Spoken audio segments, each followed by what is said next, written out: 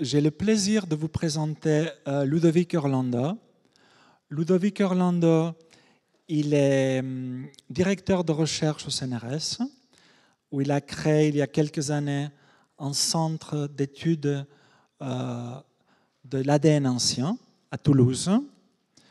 Euh, Ludovic Orlando a commencé sa carrière à l'ENS de Lyon, où euh, qu'il a eu la grande chance de quitter pour aller à Copenhague, parce que c'est là qu'il euh, s'est ouvert à l'international et il a pu fleurir, si ça existe pour les humains, ça existe, ok, euh, bourgeonner et avoir euh, la réputation internationale de premier plan qu'il a depuis des années déjà, en étant, en tout cas, euh, à mon humble avis, une des 4-5 paléogénomiciens plus importants au monde, important dans le sens où il fait de la recherche plus sérieuse, publiée dans les meilleurs journaux, ce qui veut dire qu'il y a beaucoup de prouesses et technologiques et intellectuelles et analytiques derrière ces travaux.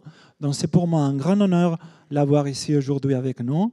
Il va nous parler de quelque chose qui lui tient à cœur, que c'est le cheval. Parce que l'histoire de, des chevaux, euh, c'est une histoire pas seulement intéressante pour les chevaux et ceux qui sont des amateurs de, chevaux, mais c'est une histoire qui aussi va nous renseigner sur l'histoire des humains, euh, comme vous allez le voir. Et je vous conseille de lire son dernier livre, qui est extrêmement facile à lire, s'appelle La conquête du cheval, qu'il vient de publier chez Odile Jacob très récemment. Merci d'être là. Merci infiniment, Louis. J'imagine que vous m'entendez. Bonjour à toutes et bonjour à tous. Je suis ravi d'être parmi vous ce matin et d'avoir l'occasion, dans le cadre d'un cours sur l'histoire de l'humanité et la paléogénomique, de vous parler en fait de cette histoire-là, mais non pas par le prisme de l'ADN que l'on porte en nous euh, aujourd'hui, les humains, mais en fait par le prisme des variations génétiques euh, d'une des espèces qui a le plus influencé notre propre histoire, à savoir le cheval. Et ce que je vais faire avec vous aujourd'hui, c'est euh, le faire avec un ADN un petit peu particulier, vous allez le voir, l'ADN ancien, la paléogénomique. Donc c'est cet ADN qui est préservé dans les restes archéologiques et qui nous permet littéralement de faire des voyages dans le temps. Donc pour commencer, euh, je vous propose de faire un voyage dans le temps, euh, finalement pas si loin de nous que cela. On est à Boston, on est en 1872, seconde moitié du 19e siècle, et Boston, comme toutes les grandes villes du monde occidental de l'époque, euh, Paris, Londres et les grandes capitales, euh, ce sont des euh, économies qui sont en fait construites à dos de cheval, littéralement. Les chevaux nous servaient à nous transporter, à transporter nos denrées, nous-mêmes à travers la ville, et les chevaux servaient également à tirer les camions de pompiers ainsi que les pompiers de l'époque, si bien que les chevaux étaient centraux au cœur de nos écosystèmes urbains de la fin du XIXe siècle, dans le monde le plus moderne qu'on pourrait s'imaginer. À peine un mois après euh, l'automne 1872, à Boston, la situation change du tout au tout, puisque euh, c'est à peu près un millier d'habitations qui périt dans les flammes ce soir-là, dans la nuit du 9 au 10 novembre 1872.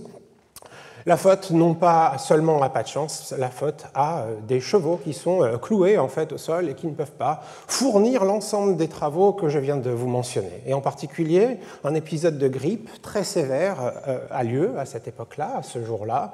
Et même si seulement 2 à 3 des chevaux meurent de cette grippe à l'époque, les deux tiers sont en fait contaminés. Et un cheval, grippé n'est pas un cheval qui peut tirer les camions de pompiers, amener donc les pompiers sur les lieux des flammes, si bien que la ville périt. Ce que j'essaie de vous faire sentir ici, c'est à quel point hier, et non pas avant-hier ou dans un passé très très profond, le cheval a été central à la construction de nos mondes modernes. Et peut-être que des villes telles que celles que j'ai nommées ne seraient absolument pas celles que l'on connaît aujourd'hui sans l'héritage que l'on doit au cheval. Alors en fait, dans un passé un peu plus profond, le cheval nous a rendu toute une multitude de services. C'est pourquoi il m'intéresse au, premier titre, parce qu'il va nous raconter des choses sur nous et notre propre histoire selon une perspective animale.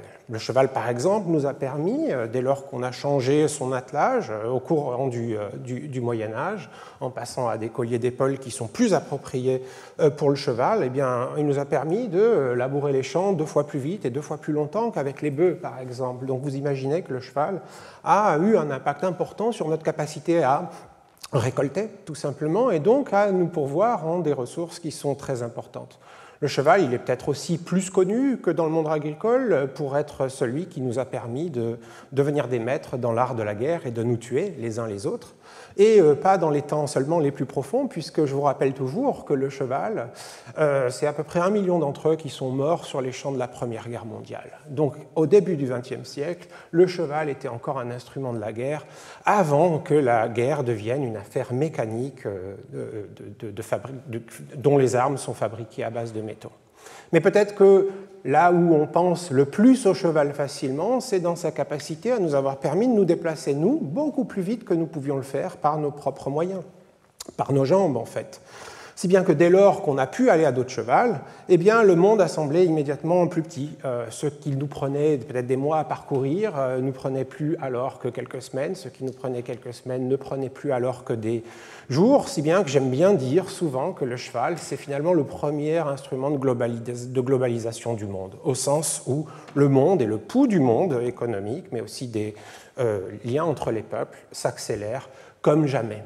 Et euh, évidemment, à dos de ce ne sont pas que les humains qui naviguent, ce sont euh, leurs euh, pathogènes, ce sont leur culture, leur langue, leur religion, leurs objets. Donc vous imaginez à quel point l'après-cheval, le monde, une fois que l'on a le cheval, a changé.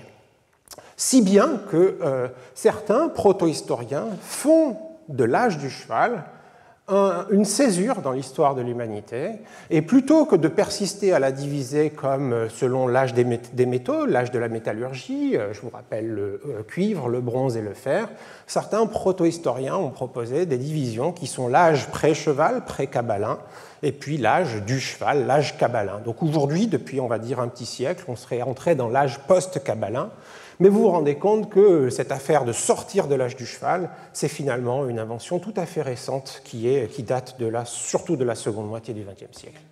Non, non, non, non, il n'y a pas de problème du tout. Non, non, c'est à volonté. Donc ce que je voulais dire par là, c'est que vous comprenez que le cheval a été un instrument crucial de notre histoire. Et malgré ça, en 2021, 2022, euh, donc jusqu'à il y a très très peu, des questions aussi fondamentales que quand on a domestiqué le cheval, euh, où a-t-il été domestiqué pour la première fois, mais quels sont euh, celles et ceux qui ont domestiqué le cheval, et puis d'ailleurs comment s'y sont-ils pris eh bien, ce sont des questions qui restaient en suspens, auxquelles la recherche la plus récente n'avait euh, fourni aucune réponse. C'est très paradoxal, puisque je vous ai indiqué que le cheval était finalement l'instrument, un privilégié de notre histoire.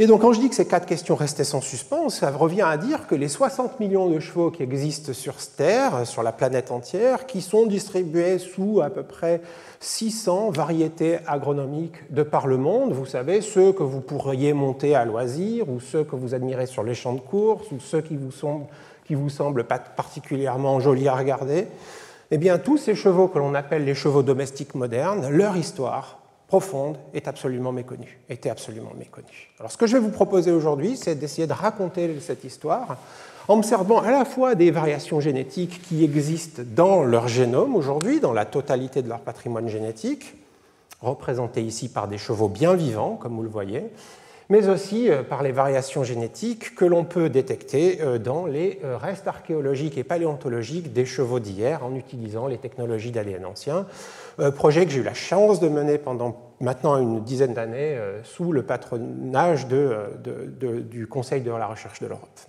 Alors, J'aimerais vous faire sentir du doigt pourquoi il était crucial pour démêler ces questions de faire un voyage génétique dans le temps et non pas seulement de se cantonner aux variations génétiques qui existent encore aujourd'hui dans les chevaux. Donc la meilleure manière que j'ai trouvée, c'est de vous montrer ce qu'on pourrait apprendre si on ne s'intéressait qu'aux chevaux d'aujourd'hui, leurs variations génétiques, et en particulier pas que les variations de quelques gènes, mais les variations contenues dans l'ensemble de leur patrimoine génétique. C'est un travail qu'on avait fait en 2015 dans mon laboratoire, alors qu'on était encore à Copenhague. Et euh, ce qu'on s'est rendu compte, c'est que si vous séquencez les génomes de beaucoup de variétés modernes qui vivent encore aujourd'hui, que ce soit les pur sang anglais, que ce soit des chevaux orientaux arabes, que ce soit euh, des, euh, des, chevaux miniatures, plus petits encore que les poneys, et que vous les comparez à ceux qui étaient considérés jusqu'alors, mais j'y reviendrai par la suite, la dernière population des chevaux sauvages existant sur Terre, leur nom c'est le chevaux de, de eh bien, euh, ces variations génétiques, vous pouvez les euh, caler sur un modèle qui est le suivant, à savoir que ces deux lignées génétiques ceux auraient commencé à se séparer il y a environ 35 000 ans de cela, et se seraient complètement séparés définitivement à l'issue du dernier grand maximum glaciaire qui, euh, pour ce qui est de l'Europe occidentale, a fini aux alentours d'il y a 19 000 ans de cela. Et depuis, leur histoire n'est qu'une histoire de divergence, les uns ignorent les autres réciproquement, sauf à compter du XXe siècle, puisque les chevaux de Przewalski ont été attrapés et ramenés dans des eaux en captivité, et euh, dans l'histoire de leur captivité aux zoos, certains, certaines, ont pu avoir l'occasion de se mélanger avec les chevaux domestiques qui étaient préservés dans les mêmes, dans les mêmes eaux. Alors si j'insiste sur ce, sur ce plan, ce n'est pas seulement pour vous donner un contexte général, mais c'est pour insister sur ce temps-là. La divergence remonte à 19 000 ans, comme vous le voyez. Et donc, si on essaie de se servir des variations génétiques de ce que l'on considérait comme le seul cheval sauvage, donc jamais domestiqué sur Terre, pour identifier les variants génétiques qui seraient caractéristiques de ceux qu'on aurait euh, euh, réussi à domestiquer, eh bien on est beaucoup trop loin, puisqu'il n'y a de 19 000 ans, aucun grand herbivore sur Terre n'a été domestiqué. La vache n'est domestiquée qu'aux alentours de 9 000 ans, le cochon dans le millénaire qui suit, etc.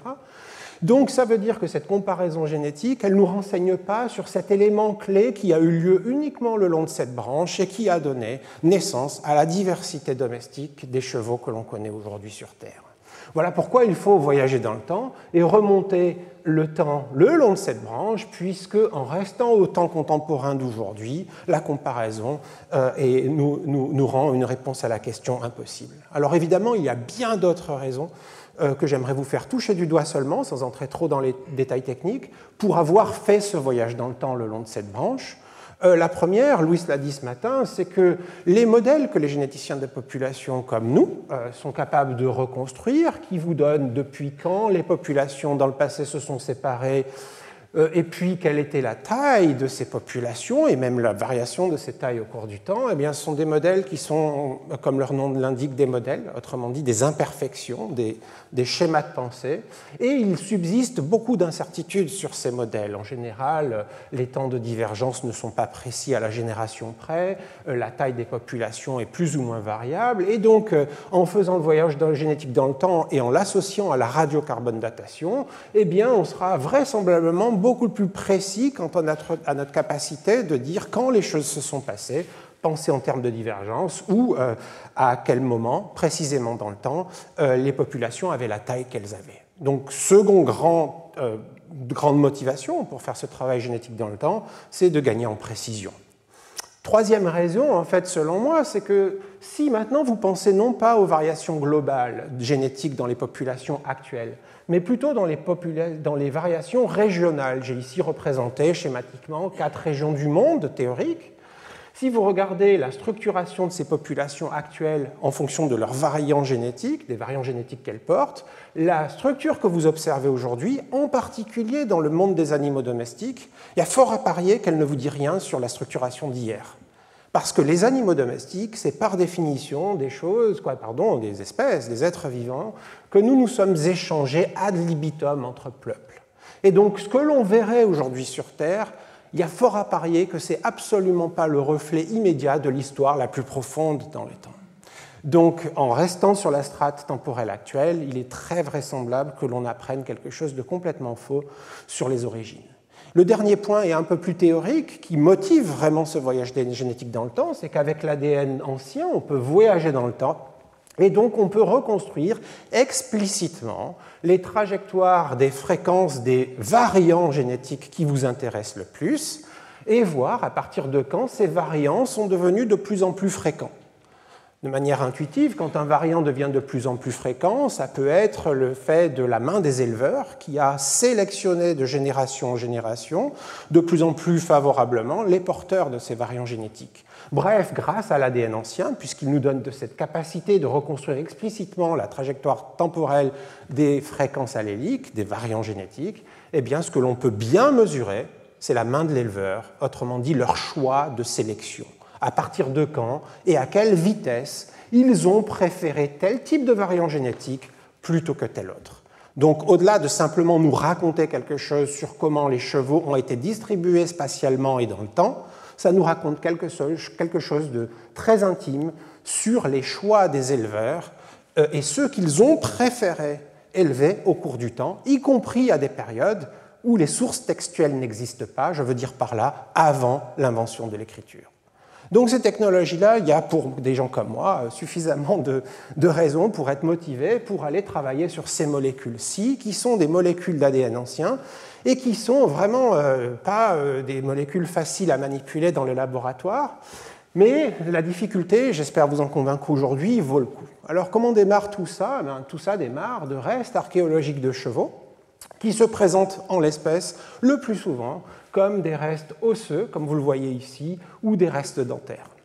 Évidemment, comme ceux que je vous projette ici, et j'y reviendrai par la suite, ont 5500 ans, ils viennent d'Asie centrale, 5500 ans, c'est pas tout à fait hier, eh bien l'ADN est dans, un mauvais état la plupart des temps. Donc il faut que vous imaginiez qu'on travaille ça dans des laboratoires dernier cri, où ce que l'on fuit comme la peste, c'est précisément toute trace environnante d'ADN qui pourrait subsister parmi nous l'ADN des hommes, des femmes, bien entendu, mais l'ADN de n'importe quoi qui flotterait dans l'air, des bactéries notamment qui existent dans, dans l'air, et qui pourraient nous faire confondre l'ADN du cheval de jadis avec l'ADN d'autres choses aujourd'hui. Et c'est ce genre de laboratoire qu'on a eu le plaisir de pouvoir fonder euh, au Centre d'anthropobiologie et de génomique de Toulouse, le CAGT, depuis euh, l'année 2020 précisément. La bonne nouvelle que j'ai pour vous, c'est que à partir de seulement une centaine de milligrammes d'os ou de dents, on est capable de retrouver suffisamment d'ADN dans la plupart du temps pour euh, pouvoir le manipuler et l'amplifier par une technologie que vous connaissez au moins depuis Covid, qu'on appelle la PCR, qui permet de multiplier ad libitum toute copie d'ADN que l'on aurait par ailleurs, eh bien, d'en obtenir suffisamment pour le placer sur des séquenceurs de très très haut débit, qui sont les séquenceurs les plus puissants euh, existants actuellement sur la planète. Pour vous donner une idée, ce sont des séquenceurs qui sont capables de séquencer euh, de l'ordre de 10 milliards de séquences d'ADN chaque nuit, d'une certaine manière. Donc on est doté d'une technologie à la fois sensible pour remonter dans le temps et d'une puissance de frappe par séquençage qui nous permet de générer beaucoup de séquences. Mais les séquenceurs font le travail qu'on leur demande, c'est-à-dire séquencer les molécules d'ADN que l'on a réussi à extraire. Et donc il faut que vous imaginiez que le travail ne s'arrête pas là, puisque les séquences vous sont données de manière complètement aléatoire par les séquençages. Et donc un peu à la manière d'un puzzle, ce qu'il va falloir faire ensuite, c'est remettre de l'ordre dans tout ça pour essayer de reconstruire et d'identifier les vrais variants génétiques de nos chevaux du passé. Et ça, on le fait en s'aidant de modèles c'est la plus simple solution qu'on ait jamais trouvée. Et le modèle, en l'occurrence, qui nous permet de replacer au bon endroit l'ensemble des séquences que l'on génère, eh bien, c'est ce que vous voyez ici en haut, tout en blanc. C'est ce que l'on appelle un génome de référence, ici pour les chevaux. C'est un génome sur lequel la communauté scientifique s'est mise d'accord de le considérer toujours comme littéralement l'étalon euh, de, ce genre d'études. Et une fois que vous avez tout réordonné, eh bien, euh, vous pouvez, euh, le long des colonnes, essayer d'identifier où l'une des quatre lettres de l'ADN variera à l'intérieur de cet individu. Et c'est ce genre de variant qui vous donne énormément d'informations. Alors, sans vouloir être ni trop technique ni trop pédant, je voudrais vous juste vous donner une idée de grandeur de la puissance informative de cela. Le génome du cheval, il est un peu plus court, le génome de référence du cheval, il est un peu plus court que le génome humain c'est de l'ordre de 2 milliards et demi de ces quatre lettres de l'ADN dont je parle, le C, le A, le G et le T. Et pour vous rendre compte que 2 milliards et demi de lettres, c'est beaucoup, même dans un alphabet à quatre lettres, il faut toujours que vous vous souveniez que euh, l'œuvre intégrale de Marcel Proust, la recherche, ce ne sont que jamais que 10 millions de lettres. Donc d'une certaine manière, dans chacun des génomes de chevaux que l'on regarde, on a 250 fois l'œuvre de Proust. Or, l'œuvre de Proust en soi nous raconte énormément d'histoires et très riche en informations, si bien vous touchez là du doigt une chose capitale, c'est que chaque génome porte en son sein une quantité d'informations redoutable. La seconde bonne nouvelle, je vous ai dit que j'en avais une tout à l'heure, la seconde, c'est que ce voyage génétique dans le temps, ben, il est possible de le faire sur des chevaux qui n'ont pas que quelques siècles, voire quelques milliers d'années, puisque mon laboratoire a réussi dès 2013 à séquencer un cheval dont les restes fossiles ont été préservés dans le Yukon canadien, dans des sols qui ne euh, décongèlent jamais, des pergélisols, et la date de ces vestiges était d'au moins d'environ 700 000 ans, on va dire. Donc 700 000 ans, c'est bien avant même que l'humanité moderne existe. C'est donc bien un outil qui va nous permettre de comprendre l'histoire de notre humanité, puisque dans des espaces de temps beaucoup plus raisonnables que celui-là. Alors, une des premières choses qu'on a faites et qu'on a vraiment voulu euh, euh, euh, adresser en, en, employant ces technologies, c'est d'essayer de trouver où était situé le berceau de la domestication des chevaux. Vous vous souvenez, le où, le quand, le comment et le qui. Donc ici, c'est la question du où et la question du quand, précisément. Et chez les archéologues, ce site qui est un site éponyme. C'est aussi une, euh, a donné le nom, le lieu a donné le nom à la culture de cette humanité-là, Botaï. C'est un site que les archéologues ont dans la ligne de mire depuis très longtemps. C'est un site qui est situé en Asie centrale, à 250 km au nord-ouest d'Astana, euh, de Nur-Sultan, devrais-je dire, la capitale du Kazakhstan aujourd'hui, et qui est daté aux environs de 5500 ans. Les, les archéologues l'ont en ligne de mire parce que c'est là, comme vous le voyez ici, qu'ils sont capables de développer leurs outils d'archéologues et de euh, fouiller euh, la steppe kazakh que vous représentez ici pour y découvrir des choses assez fabuleuses sur cette, sur cette humanité-là. En particulier, vous remarquerez peut-être qu'il y a des endroits où l'herbe est un petit peu plus verte qu'à côté, euh, sur cette photo que j'ai prise moi-même en 2016. Et si vous faites le, travail archéologique ici, ou là, ou encore ici, ce qu'ils ont fait un peu plus à gauche, eh bien vous dévoileriez ici cette structure circulaire comme une maison de ces, humains du passé, d'il y a 5500 ans. Ils enterraient, leur maison était un petit peu enterrée et elle était circulaire. Quand vous restez dans la maison, eh bien, beaucoup de déchets organiques seront là et donc euh, l'herbe, des milliers d'années plus tard, bénéficie de cet engrais que l'humanité a apposé à l'époque, encore aujourd'hui, qui rend l'herbe un peu plus florissante. Alors pourquoi je vous dis ça? C'est qu'il faut que vous imaginiez ces gens, non pas comme des nomades, souvent on associe le cheval à, du nomadisme, mais bien comme des sédentaires. Ce que vous voyez ici, ici, ici, ici et peut-être là, ce sont cinq maisons de ces batailles-là. Autrement dit, un village de, des batailles de l'époque. Alors pourquoi s'intéresser à eux en particulier? C'est qu'au-delà des maisons, euh, les archéologues, comme ici, peuvent retrouver des euh, trous dans lesquels des, restes euh, d'animaux sont identifiables et pas qu'un peu. 300 000 ont été déterrés à Botaille en une vingtaine d'années, et sur ces 300 000 restes osseux animaux, donc non humains, 99% euh, d'entre eux sont des chevaux. Autrement dit, ce que l'on apprend là, c'est que ces sédentaires de l'époque, des steppes d'Asie centrale, eh bien, ils ont développé une économie centrée sur l'exploitation d'un animal en particulier, le cheval. Premier indice pour dire qu'ils avaient peut-être découvert quelque chose pour maîtriser la reproduction de cet animal et donc l'avoir domestiqué deuxième argument pour les archéologues, pour s'intéresser de si près à Botaille, c'est que euh, les euh, archéologues identifient des enclos à chevaux à Botaille. Autrement dit, ces chevaux, il n'y a pas que des maisons, il y a à côté des maisons des enclos de structure d'ailleurs hexagonale dans lesquels sûrement les humains de Botaille gardaient leurs chevaux à côté d'eux. Grand argument pour dire ils les ont vraisemblablement domestiqués puisqu'ils les gardaient comme des congénères à proximité. Mais ça ne s'arrête pas là, puisque un troisième argument euh, vient de l'analyse des euh, surfaces dentaires, en particulier de la seconde prémolaire euh, des, seconde prémolaire des, des chevaux. Pour ceux qui ont encore ici l'œil très très vif, vous verriez que la facette de, avant de cette seconde prémolaire est comme usée. On voit vraiment des stries ici, et puis ici, cette tablette est complètement usée. Et ça, c'est le signe pour les archéologues que les dents étaient de manière chronique euh, mâchouiller quelque chose. Alors, ce ne sont pas des morts métalliques, puisqu'aucun n'ont jamais été retrouvés à Botaille, mais on imagine que c'était sûrement des brides faites de cuir ou de cordes qui permettaient aux gens de Botaille de tenir les chevaux, alors soit au licol ou au filet ou à la bride. Troisième grand argument, euh, le cheval ne serait pas euh, sauvage s'il était tenu à la bride. Il ne me viendrait pas à l'idée de tenir à la bride un lion, par exemple, d'une certaine manière. Mais il y a un dernier argument, qui est un argument massu à nouveau, c'est que si cette fois vous vous intéressez non pas aux dents des chevaux ou à leur enclos ou aux maisons, mais que vous vous intéressez à la vaisselle des botailles, eh bien, euh, vous trouveriez des résidus alimentaires sur les gobelets, par exemple, ou sur les assiettes de l'époque. Ces résidus alimentaires, le gras qui est encore extractible aujourd'hui, euh, vous pouvez l'analyser en chimie sur l'analyse des isotopes du carbone, qui vous est représenté ici sur les deux axes. Et cette analyse-là vous indiquerait que le gras ne provient pas d'un gras de porc, il ne vient pas d'un gras typique des poissons, mais bel et bien du gras du lait de jument.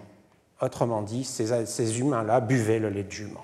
Ce qui veut dire que peut-être qu'en se rendant à Botaille, puisqu'ils parquaient leurs chevaux, puisqu'ils les reproduisaient par centaines, puisqu'ils buvaient leur lait, puisqu'ils les gardaient dans un enclos, peut-être qu'on pourrait trouver l'ancêtre de tous nos chevaux domestiques. Donc on s'est rendu à Botaille évidemment pour séquencer 25 génomes de chevaux anciens, donc de chevaux qui ont 5500 ans, 5000 à 5500 ans, et pour placer le tout dans une comparaison qui nous aurait permis de suivre les modifications des chevaux domestiques après Botaille. On a séquencé une centaine, ici figurées en orange, d'autres vestiges archéologiques de chevaux, datés, c'est très important pour la suite, des 4200 dernières années. Et voici ce que l'analyse nous a révélé. Euh, et je représenterai d'ailleurs à partir de cette diapositive et tout dans la suite de, cette présentation euh, les chevaux de Przewalski qu'on a vus au départ comme des chevaux verts en couleur verte, les chevaux domestiques d'aujourd'hui en couleur plutôt orange foncé rouge, et les chevaux domestiques des 4200 dernières années en orange. Alors vous voyez que Botaille, dans notre analyse, les données génétiques nous le placent comme l'ancêtre direct des chevaux de Przewalski aujourd'hui, et absolument pas comme l'ancêtre direct des chevaux domestiques d'aujourd'hui. Ça, ça a une implication majeure, c'est que l'ancêtre domestiquer des chevaux à botaille, ce n'est pas l'ancêtre de nos chevaux modernes domestiques, mais bel et bien l'ancêtre de ce que l'on considérait avant ce travail comme le seul représentant des chevaux sauvages encore vivants sur Terre.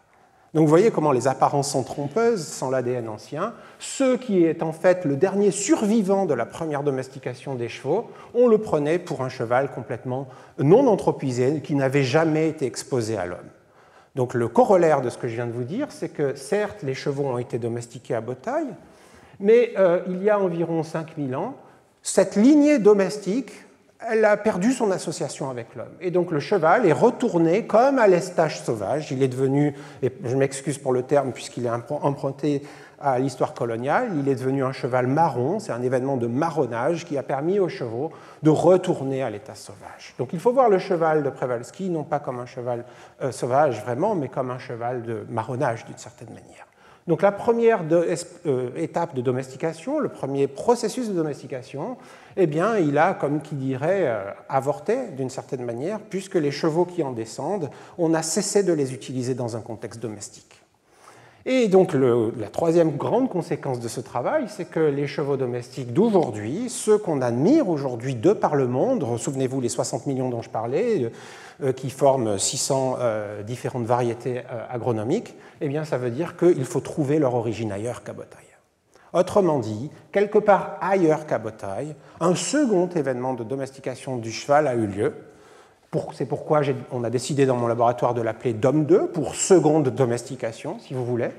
Et euh, ce second événement de domestication, on a appris que vraisemblablement il a eu lieu au plus tard, il y a 4200 ans, puisque les premiers vestiges archéologiques que l'on retrouve comme issus de cette lignée sont datés au carbone 14 par, à 4200 ans tout au plus. Donc on sait bien qu'entre 5000 ans et 4200 ans, il y a eu un changement de domestication d'une première lignée génétique domestique à une seconde. Ça répond donc à la question du temps, euh, mais il va falloir trouver où s'est produit ce changement-là. Alors je voudrais ajouter une dernière chose, c'est que cette seconde domestication s'est faite génétiquement, quasiment en indépendance de la première, puisqu'on est capable, avec les variants génétiques, d'estimer les flux de gènes d'une lignée à l'autre. Eh bien, le seul flux de gènes qu'on a été capable de repérer dans notre jeu de données, c'est un flux de gènes d'à peu près 2 à 3% de variants génétiques qui circulent de la première à la seconde. Autrement dit, 97% de ce qui constitue la composition génétique des chevaux domestiques aujourd'hui reste à expliquer, elle ne peut pas s'expliquer par Botaille. Donc on a répondu au camp entre 5000 et 4002 ans de cela, mais on n'a pas du tout répondu au où. Donc, puisque j'espère vous avoir euh, euh, expliqué suffisamment le principe, la seconde étape de notre travail, c'est de se dire pourquoi se cantonner à Botaille et pourquoi ne pas être exhaustif à l'échelle de l'Eurasie.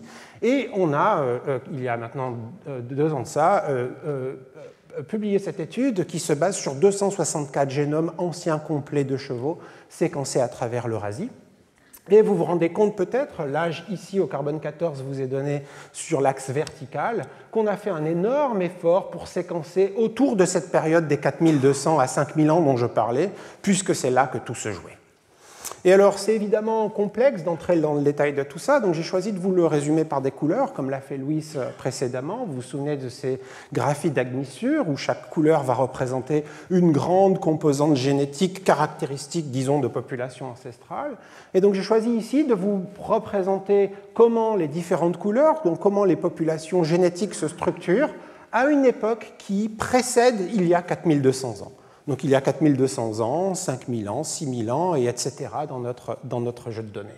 Et ce qui doit vous euh, frapper tout de suite, c'est qu'il semble que les différentes couleurs, donc que les différentes compositions génétiques, changent en fonction de la grande région que vous regardez. Par exemple, à Botaille, vous voyez cette couleur verte, je garde le vert, je vous disais, eh bien, elle semble dominer, c'est ce qu'on avait vu sur les diapositives précédentes. Mais par exemple, ici, dans ce qui est devenu la France depuis, eh bien, une couleur bleue euh, domine. Ça, ça a l'air de rien, mais ça vous dit par exemple que les chevaux que les Gravétiens ont dessinés à Chauvet, par exemple, hein, Chauvet-Pont d'Arc, bien que dans le panneau euh, des chevaux, c'est le nom, le panneau des chevaux de la grotte Chauvet, bien que leur apparence, par exemple leur crinière érectile, fait penser comme deux gouttes d'eau aux chevaux de Przewalski qui vivent encore aujourd'hui, notamment en Mongolie, et euh, dans le territoire euh, original de Botaille, eh ces deux chevaux n'ont rien à voir génétiquement. Donc vous voyez comment les gènes vous permettent d'objectiver votre regard et de vous raconter la véritable structuration de ces, lignées de chevaux euh, en, se basant, sur beaucoup de données, je disais 250 fois l'œuvre de Proust à chaque fois, euh, qui vous permettent de voir ce que vos yeux n'auraient pas vu, l'esthétique n'aurait pas vu. Alors cette carte, euh, je crois maintenant que vous avez vu qu'il y a des particularismes régionaux. En Asie centrale, le vert domine, en Europe de l'Ouest, le bleu domine. Peut-être qu'en Sibérie orientale, le bleu plus foncé domine. L'intuition que vous devez avoir, donc, c'est que si les couleurs ne se sont pas à ce point mélangées, c'est que des chevaux naissaient plus ou moins, euh, naissaient, vivaient et mouraient au même endroit, en fait. Si bien qu'ils ne se mélangeaient pas à des grandes échelles géographiques, sans quoi le vert aurait dû apparaître jusqu'à l'Europe de l'Ouest, d'une certaine manière. Donc ça veut dire que, contrairement au lieu commun, bien que le cheval soit devenu, du fait de notre histoire, l'instrument par excellence de euh, la vitesse et du voyage, eh bien, le cheval, à l'état naturel, quand il est sauvage, c'est un casanier. Il reste là où il naît, il meurt là où il est né. Et donc, pour vérifier ça, les généticiens des populations comme nous, on est capable d'essayer de quantifier les variations génétiques spatialement et de les ramener euh, par ici par des rubans d'une couleur plutôt foncée dans les bleus ou plutôt foncée dans les marrons, à des estimations du niveau des migrations entre ces populations-là. Quand la migration deviendra très très très très marron, ça veut dire qu'il n'y aura pas de migration, les chevaux ne bougent pas. Quand elle deviendra très très très bleu foncé, ça voudra dire que les chevaux bougent beaucoup aux, échelles géographiques que l'on regarde. Eh bien, ce que vous voyez, c'est que dans l'essentiel de l'Eurasie, avant il y a 4200 ans, donc du temps de Botaille, mais pas seulement, les chevaux restaient là où ils étaient. Il n'y avait absolument pas de migration. Et ça, c'est très important par la suite, puisque si vous regardez ce qui se passe à partir de 4200 ans, la situation change du tout au tout. Le monde devient un monde de migration à l'échelle de l'Eurasie et une dominante génétique, qui est de couleur orange, qui était confinée précédemment dans un territoire précis, cette composante génétique devient mondiale, devient pan-eurasiatique.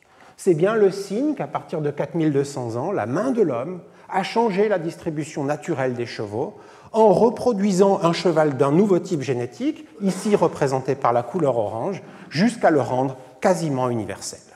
Ce qui veut dire de fait que l'ensemble des manières d'avoir été cheval avant 4200 ans a quasiment été éradiqué à l'issue de cela, puisqu'un type génétique de cheval a finalement fini par dominer l'ensemble du vieux monde.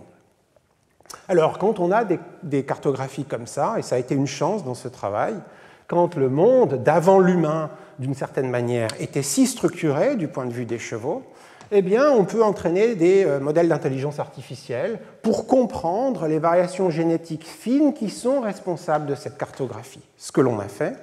Et une fois que les modèles d'intelligence artificielle ont été entraînés, eh bien, on a pu prendre tous les chevaux qui existent depuis 4200 ans sur Terre, on en a séquencé plusieurs centaines, je vous disais, et on peut demander une question très simple à l'intelligence artificielle, c'est de nous prédire où vivaient leurs ancêtres. Autrement dit, de répondre à la question du où, d'où viennent leurs ancêtres génétiques. Et voici la carte cumulée de la prédiction géographique de où vivait l'ancêtre de tous les chevaux domestiques qu'on connaît sur la surface de la planète depuis 4200 ans. Il venait de cette région de la basse Volga euh, et du Don, qui est un affluent de la Volga, au nord du Caucase, au nord-ouest de la Caspienne, il y a 4200 ans de cela. Donc par ce travail, on a évidemment répondu à la question du où, donc on a répondu quand euh, Il y a 4200 ans environ, on a répondu au où. Mais évidemment, il nous reste les autres questions, il nous reste le qui, par exemple. Quels étaient celles et ceux qui ont réussi à faire ça dans ce territoire du monde? Alors pour avancer un petit peu, je suis obligé d'introduire un terme un petit peu technique, mais ce sera peut-être le seul dans la suite. C'est le terme de C-ponte, pour euh, euh, step pontique en fait. Hein, euh, ce sont les populations qui sont le plus proches dans nos modèles des populations domestiques de chevaux modernes, les DOM2 que je présentais avant. Donc dans cet arbre phylogénétique, vous voyez que ce sont les plus proches parents des domestiques. Dans, cette, euh, euh, dans ce graphique de, de, de, représentation des affinités génétiques entre les chevaux, où deux points seront d'autant plus proches dans le graphique qui sont proches génétiquement, eh bien vous voyez que les sépontes sont quasiment superposés avec les chevaux domestiques, qu'ils soient anciens, jusqu'à 4200 ans, ou qu'ils soient modernes, ici mode pour moderne. Donc on va s'intéresser à finalement euh, où vivaient celles et ceux qui euh, travaillaient ou qui coexistaient avec les plus proches ancêtres génétiques de tous les DOM 2, de tous les chevaux domestiques modernes depuis 4200 ans. Et la, leçon est assez importante de mon point de vue. Euh, ce sont ces trois peuples, là, dans le bassin de la basse Volga et du Don, au nord du Caucase, comme vous le voyez, la Caspienne est située ici. Eh bien, ce sont trois peuples qui ont donné ces trois chevaux qui ont été les ancêtres directs des chevaux domestiques.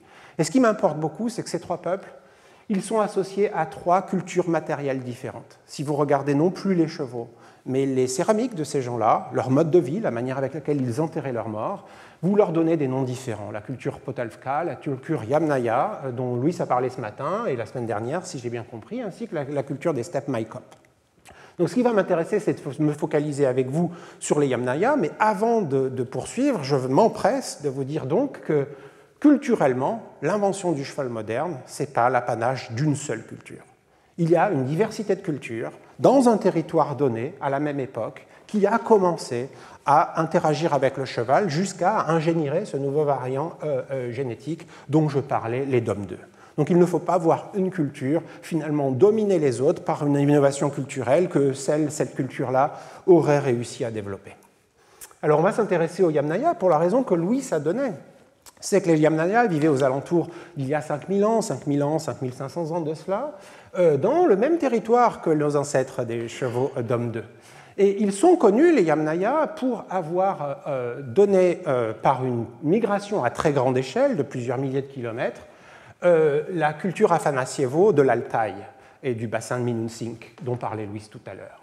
Et souvent, puisque cette migration a eu lieu à très grande échelle, plusieurs milliers de kilomètres, souvent c'est le genre d'argument qui a fait dire que les Yamnaya devaient être un peuple cavalier parce que le cheval est l'instrument de la mobilité à grande échelle. Donc souvent les Yamnaya, vous les verrez dépeints dans la presse notamment, comme un peuple cavalier. D'ailleurs, le fond génétique Yamnaya, euh, on le voit arriver en Europe et se mélanger avec le fond commun européen de l'époque il y a 4700 ans dans les humains qui, ont formé la culture dite de la céramique cordée, datée en Allemagne et en Pologne il y a environ 4700 ans de cela. Et lui, ça dit vous dire que cette migration a été une migration qualifiée de massive, puisque le paysage génétique de l'Europe a ni plus ni moins que changé à l'issue de cette migration, puisqu'environ deux tiers des variants génétiques que les humains d'alors portaient n'étaient pas présents en Europe avant cette migration-là. Donc il y a eu un grand métissage des peuples à l'issue de, cette migration. Cette migration aurait fini par atteindre la France il y a 4500 ans de cela, et euh, finalement l'Ibérie il y a 4300 ans de cela. Donc ce qui va m'intéresser, c'est parce que la migration a eu lieu ici aussi vers l'ouest à très très grande échelle. Souvent, les Yamnaya euh, sont dépeints comme un peuple cavalier aussi dans ce côté-là du monde, puisque quoi de mieux qu'un cheval pour finalement euh, euh, se, se, mouvoir à de si grandes échelles, mais aussi peut-être pour dominer les peuples que l'on rencontre en, chemin euh, jusqu'à imposer nos, systèmes de, de, reproduction à eux, ce qui pourrait expliquer euh, les deux tiers de variants génétiques que euh, portent les Européens à partir de la culture de la céramique cordée. Alors vous voyez que j'ai mis beaucoup de conditionnels et vous vous doutez pourquoi, c'est que ce que je vais faire maintenant, c'est un petit peu démonter ce modèle quant à la contribution du cheval pour vous expliquer à quel point ce modèle peut porter des, porter biais. Donc il y a quelques semaines de cela, à peine trois semaines de mémoire, euh, des gens se sont intéressés au squelette non plus des chevaux, mais des Yamnaya eux-mêmes. Ici, vous voyez un, individu Yamnaya euh, typique. Et ce qu'ils ont commencé à regarder, c'est puisqu'ils doivent être des cavaliers, ils ont regardé des endroits de leur euh, squelette qui seraient porteurs des traces de, de professionnels de la monte à cheval, si vous voulez. Euh, par exemple, si vous regardez la tête du fémur et son euh, la positionnement de la, la, tête du fémur dans la hanche, les cavaliers ont des déformations très caractéristiques là, s'ils montent tous les jours de leur vie. Ils ont aussi regardé l'asymétrie de l'épaisseur corticale des os longs, par exemple, qui se, euh, se, prononce de manière très forte chez les cavaliers professionnels. Ils ont regardé des fractures, etc. Bref, ils ont regardé tout un arsenal morpho-anatomique pour essayer de dire si oui ou non les Yamnaya étaient des cavaliers. Et donc leur corpus est d'environ 217 individus euh, qui s'étalaient, euh, il y a environ 5000 ans de cela, depuis la Roumanie, la Bulgarie, euh, la Hongrie et la République tchèque, dans un territoire de culture yamnaya en effet. Mais ce que leurs travaux montrent, c'est que seulement 9 de ces individus, en fait 5 seulement étaient yamnaya, parmi les 217 investigués, portaient tous ces atours de la modification anatomique associée à la monte. Donc plutôt, compte tenu que 5 sur 217, ou plutôt 9 sur 217, ça fait même pas 5%, ça fait à peine 4%, il faut donc sûrement, vu ces travaux, ne pas s'imaginer les Yamnaya comme un peuple absolument cavalier, puisque seulement 4% d'entre eux euh, portaient les stigmates morpho-anatomiques de, la monte. Second argument pour dire qu'il ne faut pas envisager, je pense, de mon point de vue, les Yamnaya comme un peuple cavalier dominant les autres, euh, mais bien autrement, euh, c'est parce que vous vous rendez compte que selon le point de vue des variations génétiques humaines, plus de chevaux cette fois, on s'attend dans les chevaux, dans les humains associés à la céramique cordée, on s'attend à ce que deux tiers de leur génome soient d'origine stépique, soit d'origine yamnaya. Et donc, si autant d'humains sont venus à dos de et ont modifié à ce point les variations génétiques des Européens de l'époque, on est en droit de s'attendre à ce qu'on voit la même chose du point de vue du cheval puisqu'il y aurait donc autant de chevaux qui seraient venus que d'humains qui seraient venus. Et pourtant, ce n'est pas ce que nos données montrent, puisque les, chevaux de culture cordée, que vous voyez ici, eh bien, ils ont un fond génétique complètement différent des DOM 2 dont je parlais précédemment, ainsi que des, euh, de leurs ancêtres directs que l'on a appelés la culture séponte, euh, des steppes pontiques dont je parlais précédemment. Donc, j'ai du mal à comprendre un modèle qui ferait des Yamnaya, ce peuple cavalier systématique, et qui amènerait des chevaux qui ne se reproduiraient pas, qui finalement les chevaux les amèneraient et puis les chevaux repartiraient dans leur steppe d'origine d'une certaine manière. Second argument qui fait, vous l'avez compris, que je ne suis pas un adhérent farouche au modèle euh, cavalier pour les Yamnaya. Euh, il y en a d'autres. C'est que selon ce modèle, vous voyez, les Yamnaya, plutôt la composante épique génétique vue dans le génome des humains, j'insiste, se retrouve en Ibérie il y a 4300 ans de cela. Or, les premiers chevaux d'homme 2 accomplis génétiquement que l'on voit sortir du bassin de la Volga et du Don dans notre jeu de données, ils ont 4000 ans ou 3950 ans euh, et ils sont en Roumanie, ils sont en Anatolie, ils sont au Kazakhstan, mais ils n'ont pas encore atteint euh, la, l'Ibérie. Si on regarde ceux d'il y a 3900 ans en Ibérie, ils sont encore d'un fond génétique complètement différent que le fond génétique orange dont je parlais. Autrement dit, là encore, l'expansion du cheval post-date l'expansion des Yamnaya eux-mêmes d'un bon 700 ans, d'une certaine manière. Donc je rejette, moi, personnellement, le modèle d'un peuple Yamnaya dominant, euh, mm, dominant par l'équitation et soumettant à son joug, par l'équitation, les peuples conquis. Il faut imaginer plutôt, selon moi, les Yamnaya comme un peuple de, euh, nomades qui, euh, en fait, maîtrisaient l'élevage du bœuf. Et le bœuf leur servait à leur déplacement, avec des véhicules dont les roues d'ailleurs étaient des roues pleines et, euh, seuls les bœufs pouvaient, tirer des véhicules aussi lourds que ça parce que des roues pleines d'à peu près 1,50 m de diamètre, ça pèse euh, sensiblement. Euh, donc si ce n'est pas les Yamnaya qui ont été responsables de l'expansion de ce chevaux, de qui s'agit-il?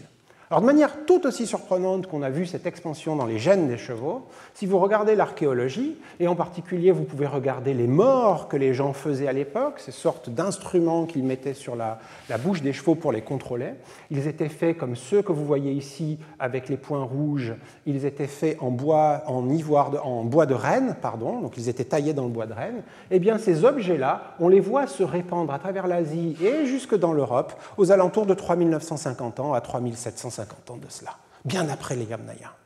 Donc le contrôle de l'équitation par des morts se passe en même temps que cette explosion, cette expansion de cette nouvelle lignée génétique de chevaux. Et en particulier, il y a une expansion dont Louis a reparlé ce matin, qui est l'expansion de la culture euh, Sintashta, qui a lieu à peu près à la même époque, il y a 4100 ans de cela à 3800 ans de cela. Et cette expansion, qui part à peu près du même territoire que les Yamnaya, eh bien, elle, arrive euh, dans l'Asie centrale il y a 3800 ans à 3700 ans de cela. D'ailleurs, si vous regardez les Sintashta, et je m'excuse pour la qualité de la photographie qui est assez médiocre, mais j'ai vraiment cherché et je n'ai pas trouvé de, de, photographie qui soit la plus illustrative que celle-ci. Vous voyez ici un Sintashta enterré de manière typique, comme le sont les Sintashta. Euh, c'est une, tombe qui a été découverte ici euh, dans, la partie euh, russe de leur, de leur, territoire. Vous voyez ici deux crânes de chevaux, et peut-être à l'arrière, vous devinez, c'est vu de dessus, les roues que vous voyez maintenant ici de côté. Ce sont des roues rayonnées à rayons, non pas des roues pleines. Autrement dit, ce que vous découvrez ici, c'est un chariot de guerre. L'individu est enterré en même temps que les deux chevaux qui tiraient son char de guerre. Et donc la culture Sintashta, c'est celle qui a inventé la roue à rayons et le char de guerre. Donc ce que je suis en train de vous dire, c'est qu'en même temps que le moteur, un nouveau moteur a été développé, le cheval, DOM 2, cette nouvelle lignée génétique, eh bien un nouveau véhicule a été développé, le char. Et l'attelage du moteur à ce nouveau véhicule a permis une grande expansion culturelle de certains humains, l'expansion associée à la culture Sintashta, il y a environ, on va dire pour aller vite, 4000 ans de cela. Comme quoi, le cheval nous raconte quelque chose sur vraiment notre intimité propre, euh, qui est quelles sont les innovations culturelles, technologiques, qui ont permis à certains peuples de gagner en territoire. Donc ça, ça répond à qui? Et il me reste à voir avec vous, là, immédiatement, la question du euh, comment, bien entendu. Alors pour ça, je vais faire un petit détour pour peut-être vous rafraîchir la mémoire sur des choses que Louise vous a dites, euh, en particulier pour les généticiens. Euh, la, proportion de variants génétiques qu'ils trouvent dans des populations, c'est une mesure directe du nombre d'individus reproducteurs dans une population.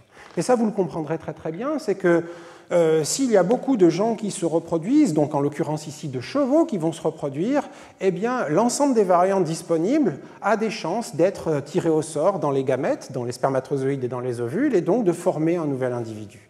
Mais si la population se réduit comme peau de chagrin, imaginez que vous auriez une pièce et que vous ne tiriez la pièce à pile ou face qu'une fois, bien que la pièce ait deux faces, vous ne verriez jamais qu'une des deux faces. Ce qui veut dire que les deux faces, les deux variants qui existaient, eh il y a des chances, par le simple fait du hasard, si vous n'êtes pas nombreux, que vous perdiez l'un de ces variants. Autrement dit, la proportion de variants qu'on a, c'est une mesure directe du nombre de reproducteurs. Et la chance qu'on a, c'est qu'avec l'ADN ancien, on voyage dans le temps.